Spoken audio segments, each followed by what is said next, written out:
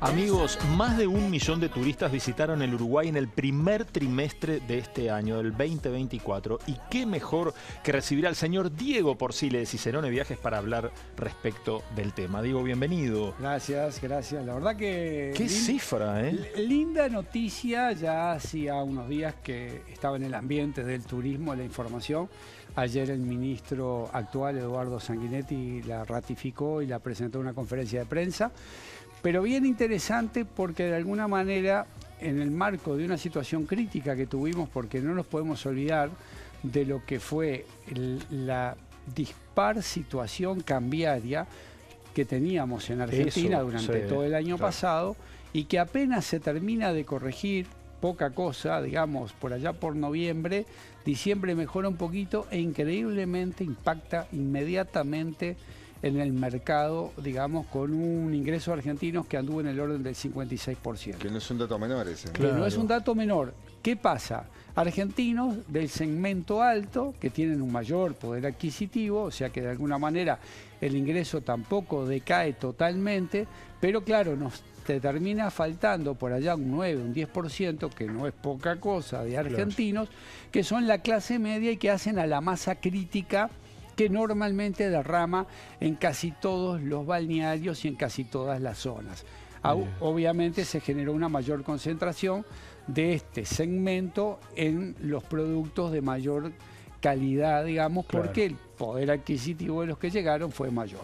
Y digo, vinieron muchos, pero gastaron plata, se sabe más o menos Ese segmento, claro, desde el punto de vista del gasto fue bien interesante porque si se mira el gasto, estuvimos en 711 eh, millones de dólares, que si vos mirás el gasto, que también se explica porque hay un crecimiento importante de los brasileños, eso es un dato fenomenal porque no estábamos creciendo en el mercado brasilero, Brasil ya venía con síntomas de que nos iba a ir bien. Bueno, contigo estuvimos en Gramado, este, participando de una acción de promoción de todo Uruguay, que digo, la verdad que era interesante. Yo creo que hacía años que yo no veía tanta gente de Uruguay, operadores de todos los segmentos y de todo el Uruguay. Promocionando el país. Claro. A ver, no es un dato menor que también fue bajó el número de uruguayos que salieron del país, ¿no? Totalmente. Eso también te ayuda, porque claro, al, de alguna manera achicar esa brecha que teníamos con Argentina, se genera también este, un ingreso mayor o por lo menos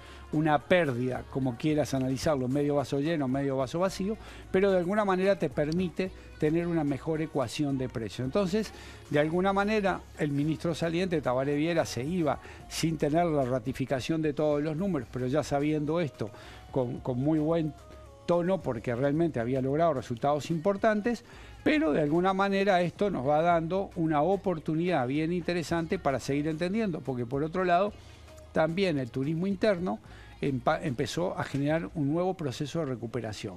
Entonces es como que estás retomando un camino que ya estaría dando un, indicio de mejor retorno que el 2019. Si logramos de alguna manera que esta situación argentina digo, siga en esta etapa de, ser un poquito más equilibrada con nosotros, seguramente ahí vamos a retomar cantidad y calidad de gasto.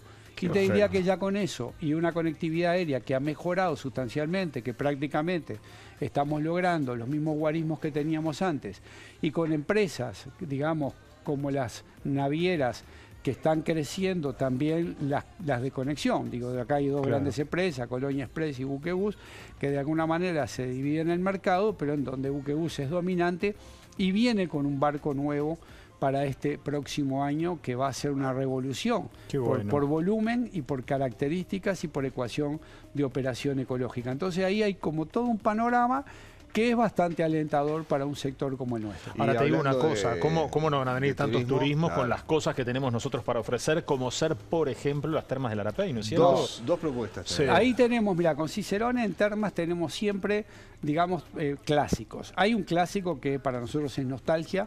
Hoy estuvo Javier por acá, Javier es el coach de Cicerone y es el que organiza junto con Mariana todo el tema artístico. Ahí tenemos una propuesta de viernes, sábado y domingo, está muy accesible en este momento. Hay que aprovecharla porque en realidad ahí hay 150 lugares que normalmente los terminamos de vender un mes y medio antes, un mes antes. Entonces, el precio es imperdible. Claro, no, y aparte digo, a ver, eh, con una reserva, digo, los que son pasajeros frecuentes simplemente nos llaman y nosotros los vamos agendando. Los que no son pasajeros frecuentes, digo, ah, con una seña bloquean su lugar y se garantizan la tarifa y el lugar, que no es poca cosa, seguramente en una de las mejores fiestas que tiene Uruguay, en un lugar que está funcionando muy bien, el único resort que tiene un servicio, digamos, como en el Caribe. y le agregamos... Este, para no estar fuera de tono con Carolina Fonseca, vamos a hacer... El encuentro místico, ¿cierto? Eso, pues, lo escuché en Es verdad, es verdad, ah, me gustó, me gustó Pero es producto de que Carolina fue con nosotros, hizo una actividad con la agencia, la verdad que le fue muy bien, con una visita que hizo con un grupo que fue Artigas, hicieron piedras y después el se fueron. pasado, Hay un montón de gente que a partir de eso empezó a plantear que quería un encuentro, así que Carolina le organizó al hotel un encuentro que van a hacer con Cicerone, que va a estar ahí que también desde un viernes, un sábado y un domingo. Van a ir con un grupo de terapeutas, parte de la gente que está con ellos, y bueno, van a tener este, ahí gente que va a hacer tarot, gente que va a hacer numerología, eh, Carolina hará la lectura laboral del café, bueno, ese es un poco el proceso.